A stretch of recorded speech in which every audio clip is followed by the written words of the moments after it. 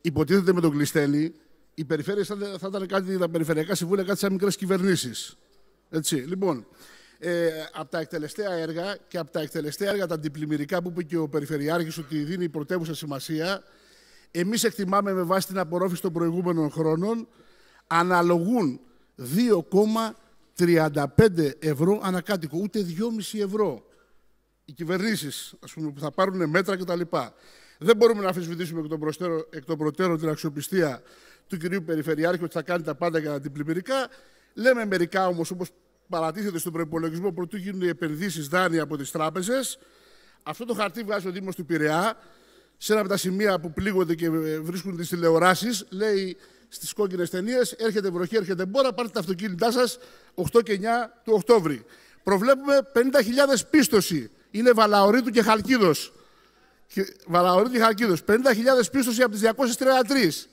Πάντως, στη Γούβα, εκεί στο εικόνιο, λαμπράκι που συναντάει την παραλιακή, που πάλι εκεί τα αυτοκίνητα γίνονται ε, ε, πλοία, ας πούμε, έχουμε δει πάλι τις εικόνες, ε, δεν προβλέπεται τίποτα.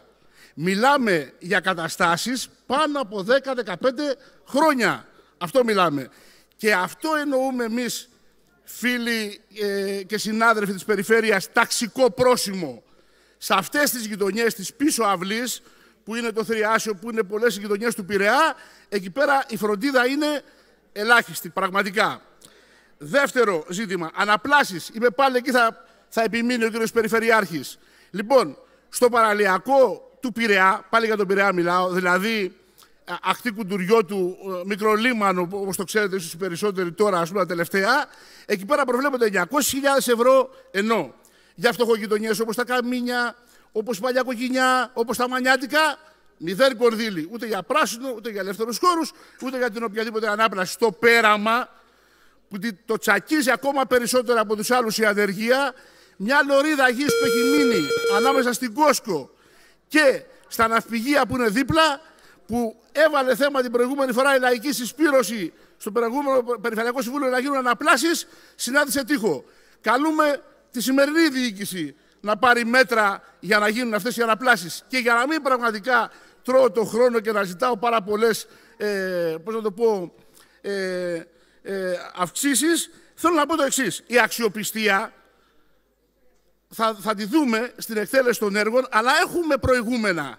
Δηλαδή, ποια ήταν η θέση της παράταξης που διοικεί για τα σκουπίδια στη φυλή; Γιατί ξέρετε, έργα είναι και απομακρύσεις, όχι μόνο για καταστάσεις. Λοιπόν, υπάρχει ένα πολύ μεγάλο πρόβλημα, ήδη έχετε δεσμευτεί ότι θα το συζητήσουμε για την απομάκρυση της Oil One, ε, που είναι στα, στην Τραπετσόνα και περιμένουμε τον χρόνο για να γίνει αυτή η συζήτηση, αλλά υπάρχει ένα εξίσου σοβαρό και μεγαλύτερο πρόβλημα, τα 140 καζάνια με καύσιμα που είναι στο πέραμα, που είναι βόμβες σε οικιστικό ιστό, δίπλα σε σχολεία, που είναι βόμβες δίπλα στο μόνο δρόμο διαφυγής από το πέραμα και αφού όπως είπε ο κ. Αντιπεριφερειάρχης, πρώτο θέμα σας είναι η ασφάλεια, είναι θέμα και ασφάλειας, είναι θέμα και υγείας, γιατί είναι επιστοποιημένο από μετρήσεις ότι πραγματικά εκεί πέρα η κατάσταση είναι αφόρητη για τον κόσμο γιατί υπάρχουν προβλήματα με πιστοποιημένες πια νόσους στον κόσμο που κατοικεί σε αυτές τις περιοχές. Και την Παρασκευή έχουν κινητοποίηση η Ένωση Γονέων και φυσικά και άλλοι κάτοικοι ακριβώς για την απομάκρυση αυτών των καζανιών. Θα κριθείτε λοιπόν και για αυτά και για την απομάκρυση αυτών που πώς να το πω, να αρκοθετούν την ασφάλεια και τη ζωή των κατοίκων. Έτσι, εμείς αυτά τα θέματα θα φέρουμε τακτικά στο Περιφερειακό Συμβούλιο, γιατί θέλουμε να ακούμε πραγματικά αυτό που λέμε λαό. Αυτό εννοούμε ταξικό πρόσημο στους προϋπολογισμούς.